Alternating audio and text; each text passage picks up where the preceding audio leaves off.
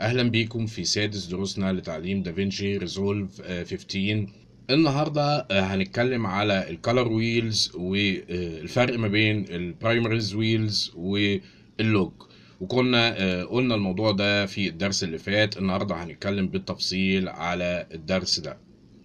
علشان نفهم ال color wheels دي شغالة إزاي لازم نفهم حاجة مهمة جدا.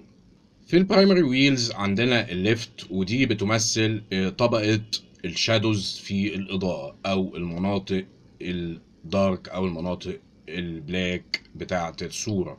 ال gain بيمثل المناطق العالية في الصورة وهو في الحالة دي زي الترابيزة زي آه، الجزء المنور ده من الجبهة بتاعتها. هي مناطق ال highlights. أي حاجة بقى تانية في الوسط هي ال mid tones أو الجاما.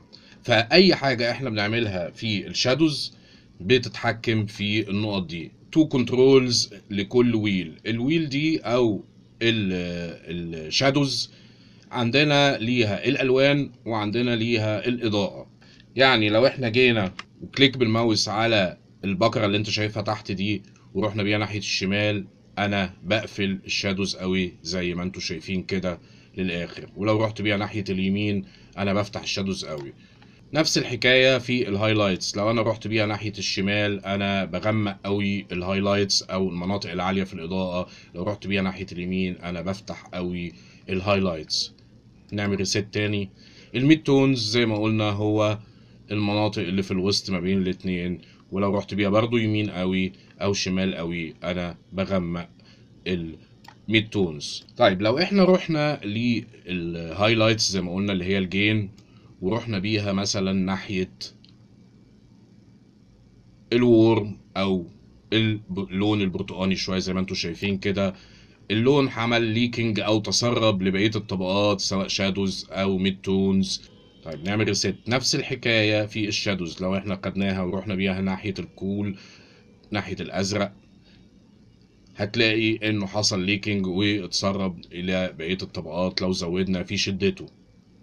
نعمل reset نفس الحكاية طبعا ال primary bars زي ما قلنا هي نفس الشكل ولكن بدقة أكبر. أنت عندك ال three channels أو القنوات الثلاثه ال red بتاعت ال- مثلا لو رحنا ال red بتاعت ال gain أو ال highlights لو قللناها إحنا كده بن represent أو بنزود ال cyan أو اللون القريب من الأزرق. ولو رفعناها بنزود الأحمر. reset طيب إيه اللي إحنا ممكن نعمله لو جينا لللوج اللوج هو نفس الطريقة ولكن بدقة أكبر. علشان نوضح أكتر ال primary wheels دول بتحس إن الدوائر دي كأنها متداخلة أو intersected مع بعض أكتر وبتأثر ببعض بتأثر في بعض أكتر لكن ال log هنا مختلف. يعني لو جينا خدنا ال highlights ورحنا بيها ناحية ال warm أو البرتقاني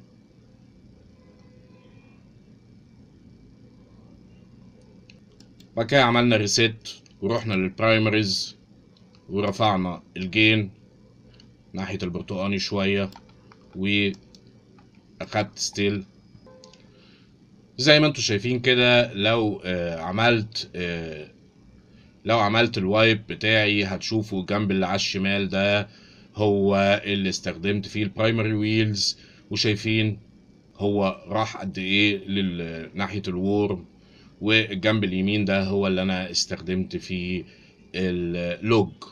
بالتالي ال log وال primaries ليهم كل واحد فيهم ليه استخدامه اللي نقدر نستخدمه فيه. ولو عملنا reset هنبقى عملنا reset تاني لكل حاجة. لو أنا على ال log في نقطة بقى مهمة جدا. لو أنا على ال log ومثلا زودت ال highlights ناحية ال warm ال tab اللي تحت دي ال HR لو أنا رحت بيها ناحية اليمين كده فأنا بحدد أعلى نقط في بحدد كده أعلى نقطة هي اللي تتأثر بس باللون. نعمل reset تاني. لو أنا خدت ال highlights ورحت بيها ناحية مثلا الأخضر للآخر قوي كده زي ما أنتم شايفين. لو أنا جيت خدت ال high range دي واتحركت بيها ناحية الشمال أنا كده بقول ال highlights أثرت على ال mid tones وعلى ال shadows ويمكن على الصورة كلها. لو أنا رحت بيها ناحية اليمين قوي فأنا بأثر على أعلى نقط بس في ال highlights هي اللي تتأثر بال effect نفس الحكاية في ال shadows لو أنا خدت ال shadows ورحت بيها ناحية الأزرق قوي وجيت لل LR دي وغيرت فيها كده فأنا لو رحت ناحية الشمال قوي أنا لغيت التأثير بتاع ال shadows خالص. وكل ما بروح ناحية اليمين أنا بضيف من ال shadows بتروح لل mid tones وبتوصل كمان لغاية ال highlights لغاية ما تأثر على الصورة. reset طيب إحنا كده فهمنا إيه ال shadows فهمنا ال mid tones فهمنا ال highlights ال offset أو ال ال ال ال ال wheel الرابعة دي هي اللي بتأثر على الصورة كلها overall ال image يعني بتدي look للثلاث طبقات الإضاءة بتاعتنا لو إحنا رحنا لها. أنا ممكن أعمل reset لل wheel وممكن أعمل reset لكل ال wheels الموجودة. كمان إحنا لو جوه ال primaries إحنا عندنا نقط كتير قوي عندنا ال contrast وده هنتكلم عنه بالتفصيل reset وال saturation أو التشبع اللوني إزاي إن هو ممكن يزيد أو يقل. هنتكلم على كل النقط دي بعد كده.